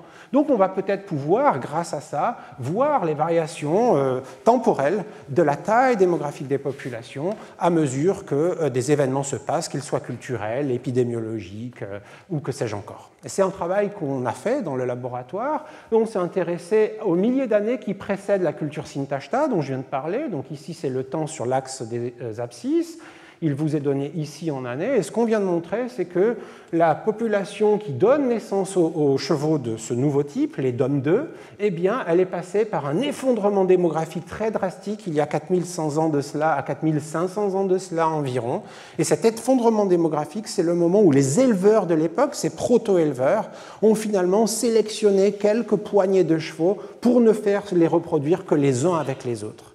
Une fois qu'ils ont réussi ce travail, eh bien, ça a été le matériau de choix pour faire une expansion démographique sans précédent, quasiment verticale, vous le voyez, où en à peine quelques dizaines d'années, même pas un siècle, eh bien, les, chevaux ont pu être produits dans un contrôle parfait de leur reproduction pour devenir le phénomène global dont je parlais précédemment. Donc évidemment, cette période de 4100 à 4500 ans, et j'enfonce le clou une dernière fois, elle post-date les Yamnaya. Donc de fait, ce contrôle de la reproduction des chevaux, les Yamnaya n'ont pas pu le faire puisque ça a eu lieu après leur propre existence. Donc quand on voit ça, ben, on se dit quel est le type de chevaux euh, qu'ils ont pu produire? On l'a appelé Dom 2 depuis le départ, mais il y a quand même des différences fondamentales entre un cheval pur sang anglais et un, un poney Shetland. Donc on va se poser la question de qu'est-ce qui a fait le succès de ces chevaux à cette époque? Quel type biologique En existe-t-il un, existe un d'ailleurs? Quel type génétique ont-ils inventé ces gens-là? Et pour ça, on a fait quelque chose de très très simple dans le laboratoire. On s'est dit, mettons tous les DOM 2, donc ces chevaux qui ont eu le succès qu'on connaît jusqu'à aujourd'hui, dans un sac, et mettons tous les autres, ceux que les DOM 2 ont fini par remplacer, dans un autre sac, et on pose une question très simple, c'est que le long des 31 chromosomes, oui, le cheval, pardon, a 31 chromosomes non sexuels, les humains en ont 22 de chromosomes non sexuels, donc ils ont un peu plus de chromosomes que nous pour un génome un petit peu plus petit. Euh, et pour chacune des positions le long de ces chromosomes-là, on va poser une question de simple, est-ce qu'on voit des différences en fréquence dans ces deux groupes des variants euh, génétiques? Et dans ce graphique, plus la différence sera prononcée, plus les points iront vers le haut. Et donc ce qui doit vous frapper immédiatement, c'est que sur le chromosome 3 d'une part et sur le chromosome 9 d'autre part, il y a deux régions où la variation génétique qui est typique des DOM2 est très différente de la variation génétique qui est présente dans les autres. On est peut-être là en train de découvrir deux modes génétiques d'êtres chevaux qui ont permis aux DOM2 même d'exister. Alors on va zoomer à l'intérieur de ça et de ça, donc du chromosome 3 et du chromosome 2, euh, du chromosome 9, pardon, en commençant par le plus important euh, quantitativement, le chromosome 9, eh bien, sachez que cette variation génétique qui est typique des DOM2 et qui n'est rarement retrouvée chez les autres, elle est euh, juste en amont dans le promoteur d'un gène que l'on appelle le gène GSDMC. Et on s'est posé la question qu'est-ce que ça fait Qu'est-ce qu'on peut savoir du gène GSDMC Et on a retrouvé par exemple des études chez l'homme où vous voyez ici des radiographies d'une colonne vertébrale, le dos serait là, vous voyez la moelle épinière ici, et on se situe ici dans le rachis lombaire, à peu près à cet endroit-là de, notre corps. Eh bien, des études médicales chez les humains aujourd'hui ont montré qu'un groupe qui porterait certains variants de ce gène GSDMC, donc chez les humains, à la fois en Asie et en Europe, eh bien, ils exprimeraient ce gène plus, ça a été mesuré ici, et ce serait associé à un phénotype qui est appelé le syndrome de sténose spinale lombaire. Et ce phénotype, vous le voyez, si cette fois je regarde la colonne vertébrale, non plus en long où le haut est ici et le bas est là, mais en section transversale, donc vous voyez ici une sorte de cercle qui serait ici en fait, eh bien vous voyez que la moelle épinière est comme comprimée chez ces individus, alors qu'elle ne l'est pas et qu'elle est tout à fait normale chez des individus qui ne portent pas ces variants génétiques du gène GSDMC. En fait, chez ce dernier groupe qui exprime plus GSDMC et qui a des variants particuliers de GSDMC chez les humains, eh bien, la moelle épinière est à ce point comprimée, déformée, que la locomotion devient absolument pénible, voire impossible, puisqu'à chaque pas qu'ils tenteraient de faire, ces gens-là, ils ressentiraient comme des sciatiques insupportables. Autrement dit, ce que l'on apprend là, c'est que le gène GSDMC, dans son mécanisme biologique, c'est un gène qui intervient dans la locomotion et dans notre capacité à développer une anatomie dorsale qui est compatible avec la locomotion. Donc on pense que nous, que les euh, et leurs ancêtres directs, les Sépontes, ont fait un travail de sélection génétique de variants de ce gène qui a donné au cheval à l'époque une meilleure anatomie compatible avec leur expansion future que l'on a vu se faire à l'échelle de l'Eurasie globale. Donc premier verrou génétique qu'ils ont réussi à, développer, à débloquer, pardon, ces éleveurs, c'est celui d'une anatomie compatible avec la locomotion. C'est finalement trivial, mais c'est la démonstration par la génétique, si je puis dire. Le second, je vous disais qu'il y en avait deux, c'est sur le chromosome 3. Il est au cœur, non plus en amont, mais au cœur d'un autre gène qui s'appelle le gène ZFPM1, peu importe pour le détail. Et lui, on a appris des choses, non pas sur des travaux directs chez les chevaux, mais euh, chez la souris. Typiquement en soumettant les souris au test classique d'anxiété, qui est dit du labyrinthe surélevé. Vous voyez, vous placez des souris euh, dans un labyrinthe qui est simple, qui est une croix, où simplement à droite et à gauche, elle a des, euh, pièces euh, bornées, murées, si vous voulez, et par contre, derrière et devant elle, elle a des, sortes de plongeoires non protégés. Eh bien, une caméra va mesurer le temps effectif que passe la souris dans certains types de compartiments, ceux qui sont ouverts ou ceux qui sont fermés. Et évidemment, euh, quand une souris est très anxieuse, on va mesurer qu'elle passe moins de temps sur le plongeoir que dans des endroits confinés où elle se sentirait comportement euh, protégée d'une certaine manière. C'est ce que vous montrent ces graphiques-là, où les deux couleurs sont des souris complètement normales de laboratoire, dites de contrôle, et les souris qui sont représentées en, rose clair ici sont des souris où le gène ZFPM1 a été inactivé, complètement détruit par génie génétique. Vous vous rendez compte tout de suite qu'à la fois les mâles et les femelles, dès lors qu'on modifie ce gène, eh bien, elles passent beaucoup moins de temps sur les plongeoires. Autrement dit, ces souris se comportent comme si elles étaient beaucoup plus anxieuses que des souris normales. On peut les soumettre d'ailleurs à un autre test qui est dit de la reconnaissance d'un objet nouveau, où vous voyez, vous mettez des souris en cage euh, pendant 24 heures. Au bout de 24 heures, vous mettez deux objets qui sont figurés ici en blanc, et la caméra qu'on a vue tout à l'heure va mesurer exactement le temps passé à, euh, à côté de chacun des deux objets. Et ce que vous faites le troisième jour de l'expérience, c'est que vous enlevez un des deux objets, pour le remplacer par un nouvel objet qui n'est pas la même couleur, pas la même forme, et la caméra continue à mesurer si les souris passent autant de temps, sur l'objet qu'elles connaissaient ou sur celui qu'elles ne connaissaient pas, sur le nouveau. Et ça, c'est un autre index classique que les euh, euh, comportementalistes développent pour mesurer l'anxiété chez la souris en mesurant la différence de temps entre l'objet nouveau et l'objet ancien. Et vous vous rendez compte que chez les souris qui ont été manipulées pour désactiver le jet ZFPM1, eh bien, elles passent moins de temps à visiter le nouveau que celui qu'elles connaissaient. Elles sont en effet plus anxieuses. Donc il y a bien d'autres expériences qui nous confortent dans l'idée que la sélection que les éleveurs Sintashta ont faite et leurs ancêtres ont faite sur le gène ZFPM1, c'est sûrement un gène qui a, dont les variants ont conditionné un comportement, ont conditionné génétiquement un comportement chez les chevaux qui était moins anxieux plus docile d'une certaine manière, ce qui colle absolument avec notre besoin de les reproduire en grand nombre, d'interagir avec eux et d'interagir entre eux dans des espaces confinés. Donc on pense que le second, grand verrou qui a été déverrouillé par les éleveurs de l'époque, c'est un verrou comportemental qui a été déverrouillé génétiquement et qui a permis au cheval naturellement d'interagir plus favorable avec nous. Alors évidemment, je vous ai raconté une histoire là qui est profonde dans le temps, mais qui a commencé donc il y a 4200 ans, 4000 ans de cela, mais 4000 ans c'est long. Donc ce que je vais voir avec vous, c'est ce qui s'est passé depuis. Et depuis, vous savez bien que les livres d'histoire regorgent du rôle des chevaux dans cette histoire que l'on connaît tous. Par exemple, Alexandre le Grand euh, a défait euh, Darius III euh, au IVe siècle avant notre ère, à la célèbre bataille d'Issos, peut-être parce qu'il était un, tel maître de l'équitation. Hein. Pensez à Bucéphale, son cheval, que seul lui n'avait réussi à dompter, selon la légende. Et peut-être que si Alexandre le Grand n'avait pas été euh, un si euh, grand cavalier et n'avait pas eu les chevaux qu'il avait, ben peut-être que l'issue de cette bataille aurait été différente et donc que les livres d'histoire auraient été différents. L'histoire aurait donc été changée. Mais si vous voulez venir plus tôt, euh, plus proche de nous que l'Antiquité, évidemment, vous pouvez penser à Gengis Khan au XIIIe siècle avec l'expansion de, de l'Empire mongol qui a été un empire qui s'est allé sur une dizaine de milliers de kilomètres et qui a systématisé l'utilisation du cheval euh, euh, à des fins de mobilité euh, que peu de peuples ont, ont, maîtrisé. Donc on peut se poser la question ensemble de quel a été le rôle du cheval dans ces grands succès historiques de grandes périodes de notre histoire.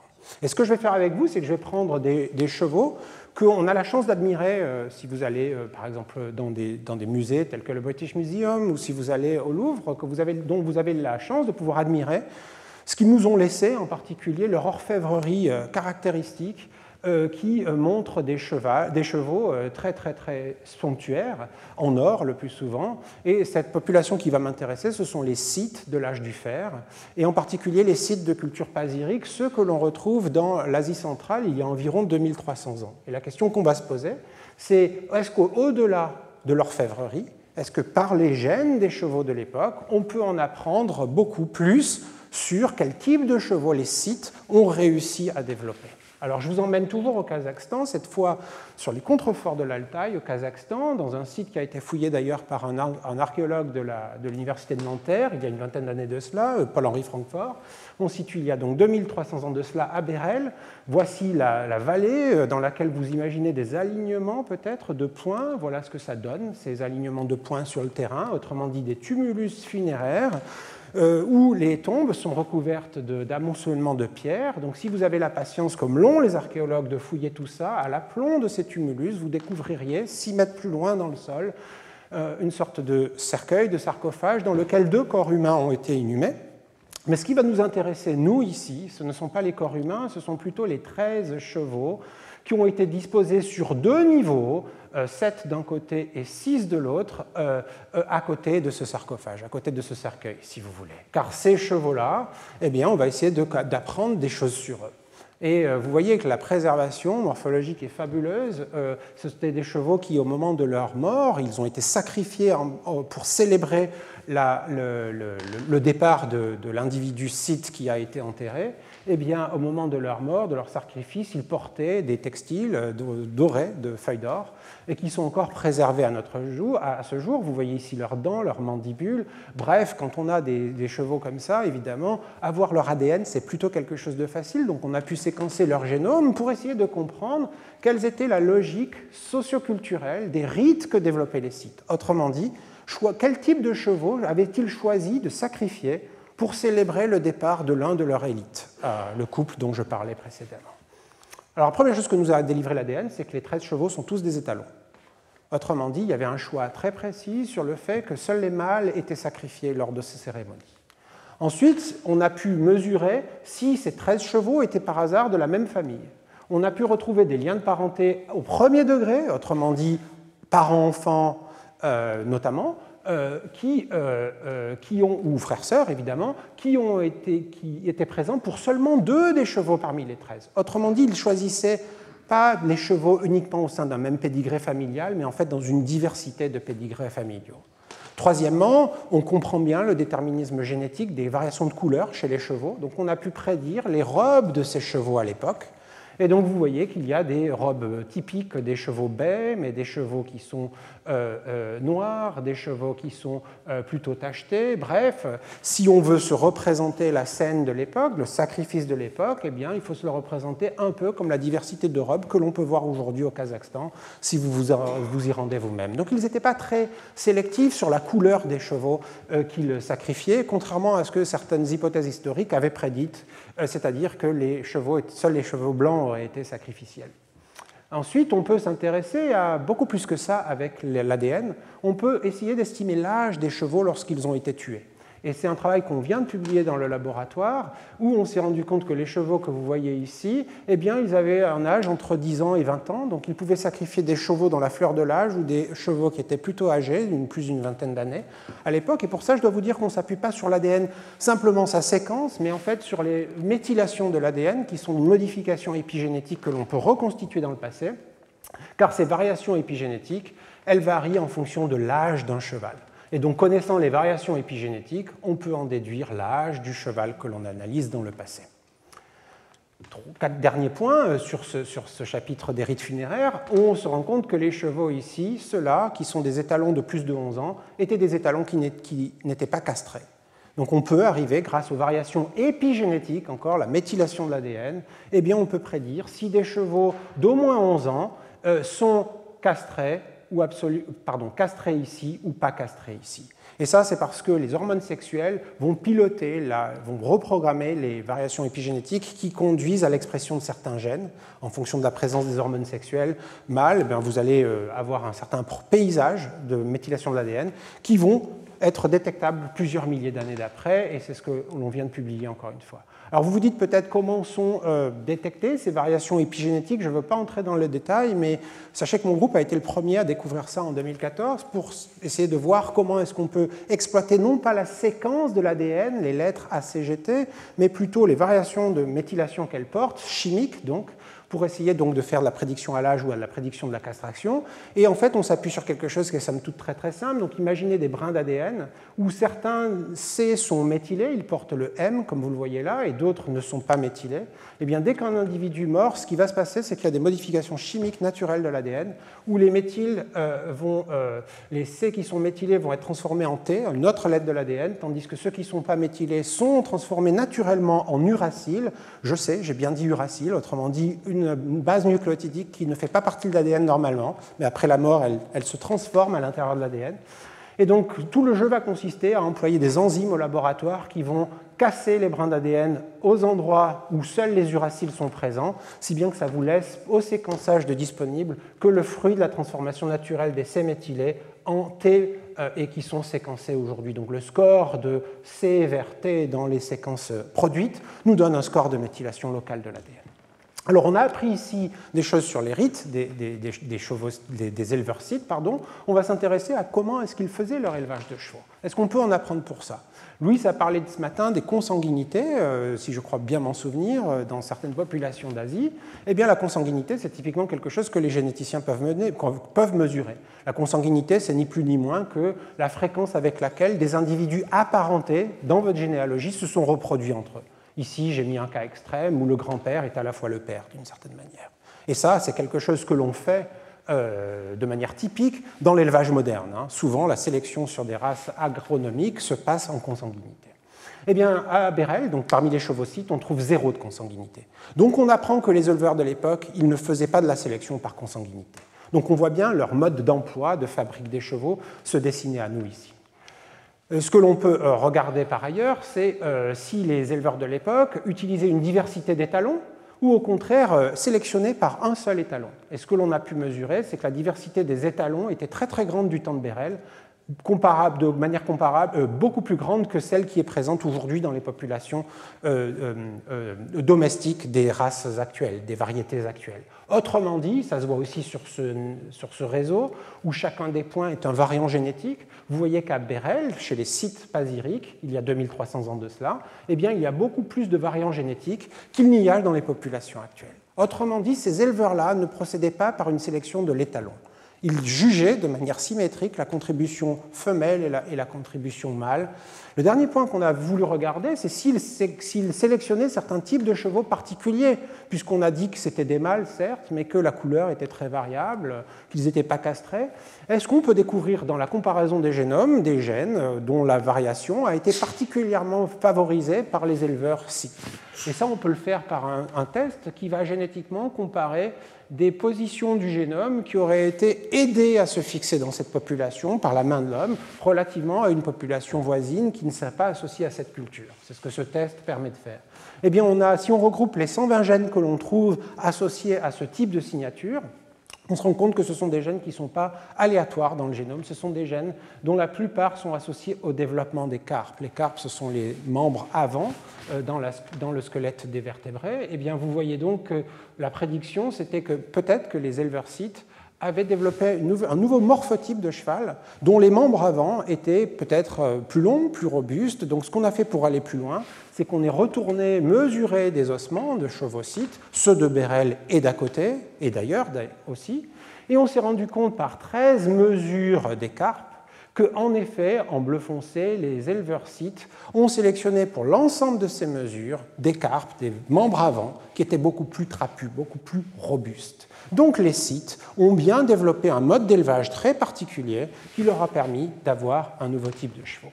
Alors ce travail que j'ai fait avec vous pour les sites il y a 2300 ans, c'était euh, pratique pour moi puisqu'on avait fait une étude centrée sur eux, mais vous imaginez qu'on peut le faire à n'importe quelle époque du passé. Donc j'ai remis ici depuis 4000 ans à aujourd'hui euh, certains des génomes que l'on a séquencés. Dans ce papier-là, je crois qu'on en avait à peu près 200. Et donc on peut faire ce même travail de, description de quelle a été la stratégie des éleveurs de chevaux euh, du temps des Romains, euh, du temps, alors du temps des Romains, il y a environ à cette époque-là, au cours du Moyen Âge, ou dans des passés plus ou moins profonds.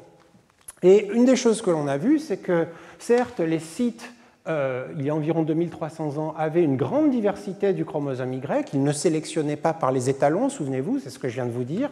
Donc sur l'axe des ordonnées, c'est la diversité du chromosome Y, à quel point les porteurs du chromosome Y, donc les mâles, étaient différents génétiquement, si vous voulez. Eh bien, vous voyez que ça s'est effondré depuis. Et ça s'est effondré de manière quasiment linéaire et constante, à la fois en Europe en rouge et en Asie en vert. Ce qui veut dire que depuis 2000 ans, depuis Rome et au cours du Moyen Âge, l'élevage, à la fois en Europe et en Asie, s'est absolument recentré vers une sélection de très très peu de mâles. Donc l'élevage s'est asymétrisé dans les, contributions des mâles et des, femelles. Les sélectionneurs ont plus procédé par le choix de certains étalons plutôt que certaines juments, et ce de manière quasiment universelle. Alors on peut aller plus loin que ça, si par exemple maintenant on s'intéresse à reconstruire les arbres de parenté, et je m'excuse pour la qualité, mais je vais zoomer dans un instant. Si on, reconstruit les arbres de parenté des chevaux mais que j'ai nommés ici par les cultures humaines auxquelles ils sont associés. Par exemple, euh, ici, si je zoome dans cette partie de l'arbre, vous voyez les vikings qui sont représentés ici. Donc il faut les lire pour vous, non pas comme un arbre qui relie les vikings humains aux autres humanités, mais euh, en fait leurs chevaux aux chevaux des autres cultures, si vous voulez. Vous voyez les Romains ici, les Gallo-Romains, l'âge de fer euh, de l'Europe de l'Ouest. Eh bien, ce que l'on a pu apprendre, c'est que les Vikings, leurs chevaux des Vikings, eh bien, se retrouvent encore aujourd'hui uniquement dans deux endroits dans le monde, sur les îles Shetland et sur l'Islande. Autrement dit, les chevaux des vikings existent encore dans les populations actuelles, mais seulement dans la Scandinavie et le, Royaume-Uni du, Nord. Ah. Ça, c'est ce qui se situait, donc l'Europe, le paysage de l'Europe, avant le 7e et le 9e siècle, puisque vous voyez les Romains ici, les Carolingiens et les Gallo-Romains sont là, vous voyez l'âge du fer européen, vous voyez les, Vikings. Mais ce qui est assez intéressant, c'est que dans ce même arbre, les chevaux européens d'après le 7e et le 9e siècle se placent ailleurs dans l'arbre Autrement dit, à partir du 7e et 9e siècle en Europe, le paysage génétique des chevaux a beaucoup changé. Il a changé radicalement pour finalement enfanter la diversité du monde euh, de chevaux qui existe aujourd'hui en Europe de l'Ouest et par le monde. Et dans notre arbre, les parents les plus euh, la source la plus euh, précise que l'on a pu identifier, ce sont des chevaux qui ont donné naissance à tout ça, qui vivaient au temps de la Perse sassanide, on va dire il y a environ euh, le, second, le, second, siècle au 5e siècle de notre ère en, Iran. Donc on est en train de se dire qu'à partir du 7e et du 9e siècle, un cheval originaire au départ d'Iran et d'alentour, à partir d'une ère qui devient l'ère de l'expansion arabo-musulmane, eh bien, ce cheval a eu un succès fou en Europe, à ce point que les éleveurs l'ont euh, incorporé dans leurs élevages, à ce point qu'aujourd'hui, les chevaux qui existent en Europe, à l'exception faite de l'Islande et du Shetland, reflètent plus cette expansion de ce cheval oriental. Autrement dit, le cheval arabo-musulman ou oriental euh, euh, eh a eu un succès colossal en Europe. Et donc le cheval que l'on voit en Europe depuis, ce n'est pas du tout le cheval qui était d'une certaine manière le cheval de souche en Europe. Alors ce qui est assez euh, surprenant, c'est que si vous faites la même comparaison en Asie, ici je montre les chevaux d'Asie dans notre jeu de données après le 9e siècle, et que vous regardez ceux d'avant le 7e siècle, eh bien vous avez la même histoire. Ce pas les mêmes. Autrement dit, tout à l'heure, on avait vu les Sintashta, hein, vous vous souvenez, ceux qui ont donné naissance à l'ensemble des Dômes 2, ils se placent ici dans l'arbre. On vient de voir les sites pasiriques, ils se placent ici dans l'arbre. Et puis le premier empire des steppes de l'âge du fer, qui est l'empire Xiongnu, euh, qui, qui s'est opposé à la Chine, la première dynastie impériale des Qin euh, en, Asie, eh bien, euh, ces chevaux sont complètement différents de ceux qui existent en Asie depuis le 7e et 9e siècle. Autrement dit, ce cheval oriental, il a eu une grande influence à l'échelle de l'Eurasie tout entière à partir du 7e et du 9e siècle.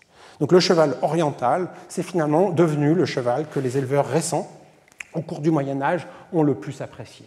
Donc on a pu faire le même petit exercice pour essayer de trouver les variants génétiques qui peut-être ont expliqué le succès de ce cheval oriental. Et sachez qu'on en a trouvé plusieurs. Et ce qui nous a vraiment surpris, c'est d'en trouver une congrégation de variants génétiques dans un cluster de gènes homéotiques très très particulier, qui est le cluster OXC et le cluster OXB, qui sont responsables à la louche du plan d'organisation de notre squelette au cours du développement.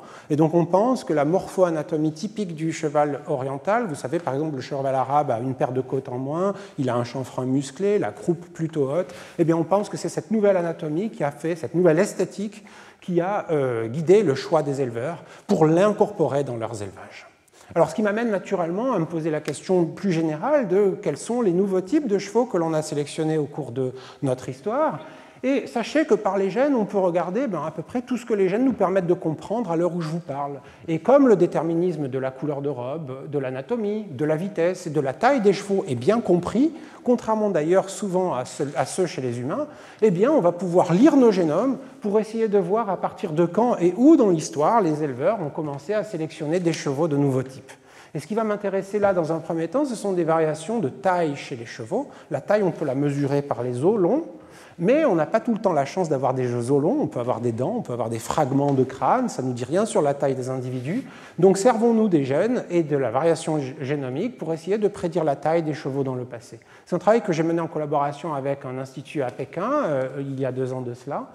Et euh, on a eu la grande surprise de découvrir qu'un variant génétique particulier, localisé dans le chromosome 8 du génome des chevaux, explique 20% des variations de taille que l'on mesure chez les chevaux en Asie. 20%. Vous avez une lettre qui est euh, un G ou une lettre qui est un A, une seule lettre sur les 2 milliards et demi, et ça, vous allez expliquer 20% des variations de taille chez les chevaux. Autrement dit, c'est un interrupteur génétique à taille importante. Une version vous donne une plutôt grande taille, une autre version vous donne plutôt une petite taille.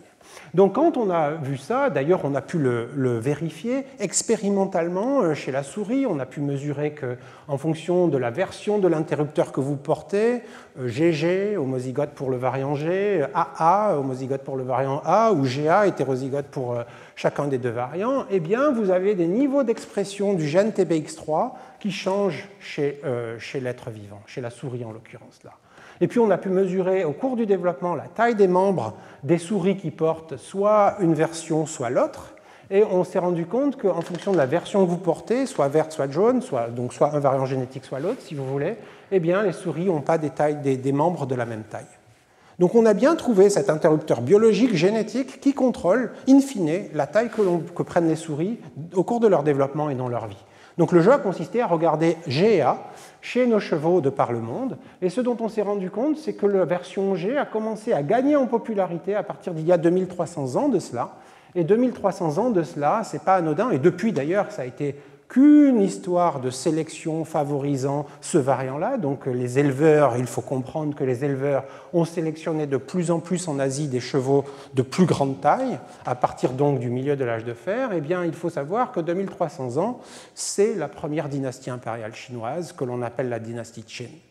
Et donc on peut imaginer que là, l'empire dynastique chinois, quand il, quand il émerge, eh bien, il se dote de chevaux de plus en plus grands, sûrement pour résister aux invasions euh, du peuple nomade Xiongnu, qui est le premier empire des steppes qu'ont connu ces steppes asiatiques-là. Donc ce genre d'histoire, évidemment, je viens de vous la décrire pour la taille. Vous comprenez très bien qu'on peut le faire pour beaucoup de choses. C'était en Asie, on a fait l'histoire de la taille aussi en Europe, pour un autre variant génétique qui explique, en fait, en Europe, quatre variants génétiques expliquent 93% des variations de taille hein, chez les chevaux. Donc on est capable de faire le même travail. on a appris que en fait, la sélection pour des tailles de plus en plus grandes, c'est un phénomène qui est contemporain de Rome et qui continue au cours du Moyen Âge. Donc il faut imaginer que pendant les deux premiers milliers d'années, dans l'histoire des DOM 2, de 4000 ans à 2000 ans, la taille n'a pas été très sélectionnée, mais par contre, à partir de Rome et du Moyen Âge, eh bien, la taille de plus en plus grande est quelque chose qui a été sélectionné. On peut faire la même chose sur la couleur de la robe. Alors j'ai mis une robe alzane parce que j'aime bien les chevaux alzans. Et surtout pour vous illustrer que tout n'est pas qu'univoque dans l'histoire. Il y a des époques, ici on est dans le fer, où la, et dans la période romaine et le début du Moyen Âge, eh bien, la, la robe alzane avait été très populaire. Puis, à partir de l'an 1000, la robe alzane a perdu de la popularité, puis a regagné en popularité dans les cinq derniers siècles. Donc vous voyez comment les modes des éleveurs du passé, on est capable de les lire aujourd'hui dans l'ADN de ces chevaux. On est capable de décrire précisément ce qu'ils avaient en tête, ces hommes et ces femmes, lorsqu'ils fabriquaient leurs chevaux.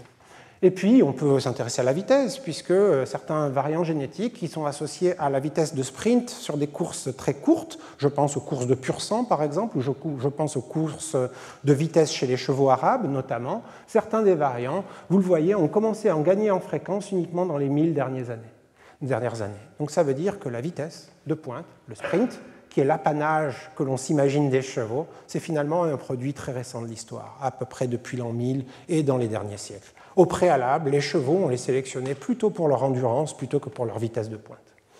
Alors j'aimerais finir avec des points de conclusion qui, moi, me paraissent très très importants en m'intéressant à la comparaison du cheval tel qu'on le voit aujourd'hui et le cheval tel qu'on le voyait hier, qui est finalement le point de départ de mon séminaire aujourd'hui. Je vous ai dit, euh, euh, les variations actuelles ne nous suffisent peut-être pas, il faut voyager dans le temps pour comprendre ça mieux. Donc je voudrais vous le mettre en perspective graphique, car ce graphique, à chaque fois que je le vois, me choque personnellement. Ici, je vous ai projeté dans un graphique à trois dimensions euh, à peu près 1000 euh, génomes de chevaux modernes et anciens de type DOM2, ceux que l'on appelle les chevaux domestiques modernes depuis 4200 ans. Ce sera les modernes en orange, et en orange plus foncé, ce seront les anciens. Les sites dont on a parlé, les Sintashta, les Romains, les Xiongnu, etc. Voilà ce que ça occupe dans l'espace de ce graphique. Et je vous ai dit qu'on en a séquencé des centaines, en fait, pas loin d'un autre millier, euh, dans les périodes d'avant 4200 ans. Et voilà à l'échelle ce que ça donne. Or, toute cette diversité génétique qui existait de par le monde avant cette seconde domestication a été perdu aujourd'hui. Donc ce que les travaux de la paléogénétique vous révèlent, c'est à quel point le monde des chevaux, génétiquement, s'est rétréci, s'est rabougri du fait de la main de l'homme. Une, variation génétique commensurable, euh, euh, plus grande que celle que l'on trouve entre Denisova, Néandertal et nos ancêtres anatomiquement modernes, existait il y a encore 4200 ans de cela sur Terre. Autrement dit, aujourd'hui, ce qu'on voit du cheval, c'est finalement qu'une sous-partie toute maigre de la diversité biologique que formait le chevaux jadis, il y a encore quelques milliers d'années de ça. D'ailleurs, on a pu découvrir qu'en Sibérie existaient des lignées très divergentes qui avaient divergé des lignées dont j'ai parlé il y a 120 000 ans. On a pu découvrir que pas loin d'ici, en Ibérie, donc en Espagne au Portugal, il y avait des lignées encore plus divergentes qui avaient divergé depuis au moins 539 000 ans à 1 million d'années, qui existaient encore il y a 4 000 ans. À l'échelle du cheval, 500 000 ans, c'est beaucoup plus que 500 000 ans pour Néandertal et nous, hein, puisque le temps de génération d'un cheval, c'est de l'ordre de 6 à 8 ans, alors que le temps de génération chez les humains, c'est de l'ordre de 28-29 ans. Hein, donc 500 000 ans pour un cheval, c'est peut-être l'équivalent de 2 millions et d'années chez les humains. Ce que je suis en train de vous dire, c'est qu'il existait des équivalents d'Erectus il y a 4000 ans encore du point de vue du cheval. Donc les chevaux étaient incommensurablement plus divers que ce qu'on s'imagine. Et malgré cette diversité qui s'est réduite depuis 4200 ans, le succès de l'expansion des DOM 2, ce que j'ai choisi ici de vous représenter, c'est une mesure génomique de la diversité individuelle des chevaux que l'on peut mesurer comme le niveau d'hétérozygosité présent dans un génome. Pour vous faire toucher du doigt ce que ça, ça veut dire, c'est que euh, j'ai une mère et j'ai un père, chacun n'a pas exactement le même génome, puisqu'ils ne sont pas euh, jumeaux. Euh, ce qui veut donc dire qu'en moi, j'ai une diversité. Même si je suis unique, génétiquement, je porte une diversité. Je porte deux versions possiblement de chacun de mes gènes. Et donc un individu peut servir de jauge de la diversité génétique de la population dans laquelle il appartient. Donc chaque point, c'est une mesure individuelle, un cheval si vous voulez, qui vivait à l'époque du passé qui était 4000 ans pour ceux qui sont plus à droite, ou il y a 1000 ans pour ceux qui sont un peu plus à gauche. Et grâce à ça, on peut donc mesurer le niveau de variabilité génétique des populations du cheval au cours de l'histoire. Et ce qui doit vous choquer, euh, vraisemblablement, c'est que pendant à peu près 3500 ans de leur histoire, les éleveurs ont fait un très très bon travail car ils ont maintenu la diversité génétique des chevaux assez haute, comme vous le voyez ici. Mais par contre, depuis environ 200 ans, la diversité génétique s'est effondrée. Ce qui veut dire que bien que cette diversité dont je parlais était déjà réduite du fait de l'expansion des DOM2, depuis 200 ans et le changement de nos pratiques d'élevage et culturelles, eh bien, la diversité génétique des chevaux s'est érodée. on a pu estimer la perte de cette diversité génétique à environ 16% Qu'est-ce qui explique cette perte? Eh bien, nos pratiques d'élevage différentes, celles qui ont consisté à fabriquer les variétés agronomiques, celles qui ne font se reproduire que les grands avec les grands, que les petits avec les petits, que les telles couleurs avec telles couleurs, histoire de fabriquer les types que l'on admire aujourd'hui morphologiquement. Et donc il y a comme une sorte de paradoxe, c'est que alors que la diversité morphologique observable, phénotypique, diraient les biologistes, s'est agrandie, on voit des chevaux nains et des chevaux géants, eh bien la diversité génétique a complètement euh, était perdu euh, euh, du fait même des pratiques d'élevage. Donc comme quoi nos pratiques d'élevage modernes, elles peuvent avoir des conséquences assez importantes sur les populations du passé. en même temps que la diversité génétique a, été perdue, un type de variants génétiques qui sont des variants délétères a augmenté en fréquence dans les génomes. Donc non seulement les, chevaux d'aujourd'hui sont moins variables, mais ils sont également porteurs potentiellement de risques de développer des maladies génétiques plus importantes du fait de ces variations génétiques. Donc pour résumer, ben, je ne vais pas être long là-dessus. On a vu qu'il y avait deux événements, je devrais dire deux processus pardon, de domestication qui ont eu lieu. Le second a été celui qui a eu le succès phénoménal jusqu'à aujourd'hui, celui que j'ai appelé DOM2. Et euh, depuis 4000 ans, eh bien, les éleveurs ont remodulé le génome du cheval à la guise des modes qu'ils voulaient développer. Euh, et les modes étaient soit définis économiquement ou par euh, simplement les pratiques rituelles et sociétales, sociales qu'ils développaient. Mais on ne s'est pas qu'intéressé au cheval. Sachez, puisque je suis ici, qu'on a fait le même genre de travaux sur les ânes euh, très récemment. C'est un travail qu'on a publié il y a quelques mois. Et on a pu découvrir, c'est pour ça que je vous le projette, que les ânes ont été domestiqués en Afrique de l'Est il y a 7000 ans de cela. Autrement dit, malgré la mauvaise presse dont euh, bénéficient, si je puis dire, les ânes aujourd'hui, hein, euh, quand on qualifie quelqu'un d'un âne, c'est rarement une, louange, eh bien, on a domestiqué les ânes bien avant le cheval. Donc dans notre histoire, il y a eu des moments où nous n'avions d'une certaine manière que l'âne et non pas le cheval. Et vous voyez, il, est arrivé aux portes de l'Europe, il a quitté l'Afrique il y a environ 5000 ans, et puis il est arrivé aux portes de l'Europe et de l'Asie il y a 4500 ans, à un moment où on n'avait pas encore domestiqué le cheval tout à fait. D'ailleurs, dans nos travaux, on a pu montrer, si on s'intéresse par exemple aux ânes des Étrusques, et donc là, ce sont deux, deux, ânes étrusques hein, qui vivaient il y a environ 2500 ans de cela, 2600 ans de cela en Étrurie, hein, pas loin de Rome, si vous voulez. Eh bien, on peut comparer leur variation génétique et leur affinité génétique, qui sera d'autant plus grande que la couleur sera jaune, à des populations qui vivent aujourd'hui sur Terre, eh bien, celles avec lesquelles les, les ânes d'étrurie étrusques euh, partagent le plus de variants génétiques, c'est ceux d'Europe aujourd'hui, hein, ceux des îles Canaries, ceux d'Irlande, ceux d'Espagne. Mais on a pu faire le même travail par, exemple sur des ânes qui ont été retrouvés à côté du vieux port de Marseille, au centre-bourse, dans l'Antiquité du 2e au 5e siècle. Et on voit que ceux qui ont été déterrés euh, à, Marseille eh bien, euh, avaient des affinités génétiques, pas du tout comme celles de l'Europe de l'époque, mais plutôt comme celles du Ghana, de la Mauritanie et, du Sénégal, donc bref, plutôt des affinités génétiques d'Afrique de l'Ouest. Autrement dit, ce qu'on est capable de faire avec la, génétique, c'est de voir les logiques d'échange des animaux entre les populations du passé et finalement qu'est-ce qui sous-tendait euh, la diversité économique des, chevaux et des ânes euh, qui étaient euh, utilisés? si par exemple Marseille étant un port, on se serait peut-être attendu à des contacts maritimes avec euh, l'Afrique lointaine, mais si maintenant je me place à Boinville-en-Vreuve, Boinville-en-Vreuve c'est dans la Meuse aujourd'hui, eh bien on a la même histoire des affinités génétiques avec l'Afrique de l'Ouest, notamment avec des ânes, dont on voici un, où l'on peut mesurer les os longs et estimer que la taille de ces ânes était de l'ordre d'un mètre 55 à l'époque. Un mètre 55, c'est une belle taille pour un âne, hein. c'est un âne qu'on dirait géant en fait. Hein. Euh, un poney, c'est un mètre, euh, officiellement, un poney, c'est en dessous d'un mètre 48. Euh, donc, ce sont des ânes qui ont la taille de chevaux, en fait. Donc, ça veut dire qu'à l'époque, ces éleveurs, eh bien, ils développaient des ânes d'un type particulier, de très grande taille, dont certains avaient des origines génétiques d'Afrique de l'Ouest. Ce qui montre les logiques des éleveurs et comment est-ce qu'ils se procuraient leur matériel. On a pu aussi montrer qu'à Boinville, en fait, ces ânes servaient à fabriquer, si je puis dire, des mules et des mulets qui sont l'hybride de première génération entre une jument et un, âne euh, mâle. Ces hybrides sont généralement stériles. Euh, on a pu montrer qu'à Boinville-en-Vreuve, euh, les, ânes étaient apparentés entre eux. Donc, en effet, les, éleveurs fabriquaient des pédigrés familiaux d'un âne particulier qui servait à fabriquer des mules. Et en plus, ces pédigrés étaient consanguins, car on a pu mesurer la consanguinité de ces ânes à l'époque à Boinville-en-Vreuve qui était même supérieure à la consanguinité que l'on peut voir aujourd'hui chez des populations d'ânes qui vivent encore sur Terre. Autrement dit, il y avait un savoir-faire d'une fabrique génétique par la pratique d'élevage des ânes qui était très particulière et qui permettait la fabrique d'un instrument très précieux pour l'expansion romaine. Boinville-en-Vreuve était du temps des Romains, 2e au 5e siècle de notre ère, euh, qui leur permettait de, de, voyager à dos, à dos de mule, si je puis dire. Euh, dernier point, euh, les chevaux et les ânes et les mules euh, n'étaient pas que développés par des éleveurs ex nihilo en fonction de ce que leur dictait leur économie à cette époque-là.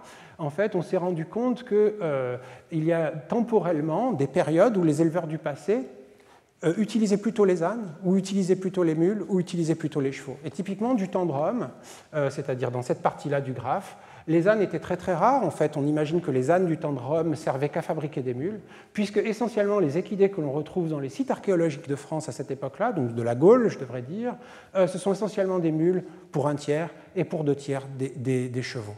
Mais dès lors que Rome s'effondre euh, au 5e et 6e siècle de notre ère, euh, eh bien vous voyez, donc dès lors que le début du Moyen Âge arrive, les mules disparaissent de notre paysage et ne subsistent plus que pour un tiers des ânes et pour deux tiers des chevaux.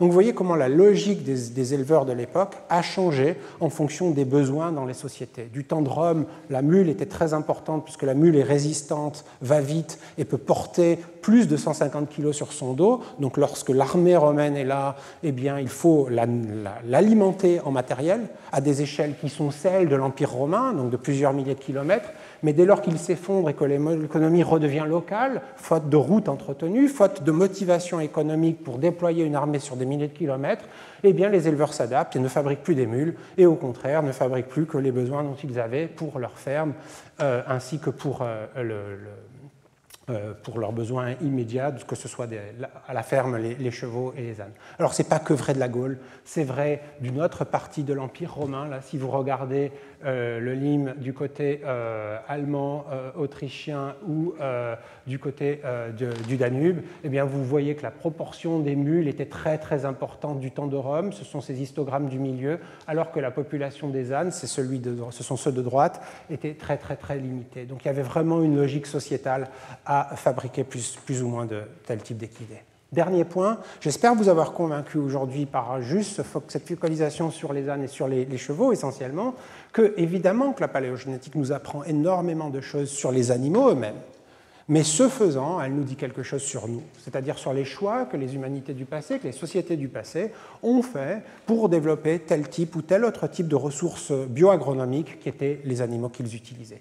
Et même si moi, aujourd'hui, je me suis focalisé sur ânes et chevaux, sachez que ce même genre de travail est fait euh, chez beaucoup d'autres espèces, en particulier chez les poulets. Le groupe de Gregor Larson, par exemple, à Oxford, euh, a beaucoup travaillé sur certains variants génétiques au cours du temps et leurs variations, et il a pu montrer qu'un variant génétique qui était associé à la capacité qu'ont les poules de pondre toute l'année a commencé à gagner en popularité à partir de l'an 1000, qui est à peu près coïncident à partir de l'édiction de certains interdits religieux pour manger la viande des quadrupèdes et donc on imagine bien que cet interdit religieux, il a suscité chez l'éleveur la sélection de nouvelles variétés de poules qui n'étaient pas donc des quadrupèdes, euh, considérés comme des quadrupèdes, puisque des oiseaux, on va dire à deux pattes.